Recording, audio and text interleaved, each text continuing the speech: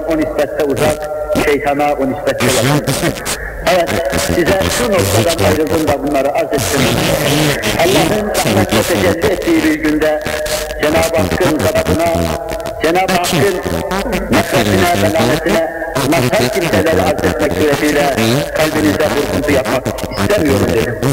Cenab-ı Hak bizim kalbimizde burkuntu yapmasın, affetmemekle, mağfiret etmemekle, huzuruna almamakla, bizi kendisine tevcih etmemekle yıkmasın inşallah.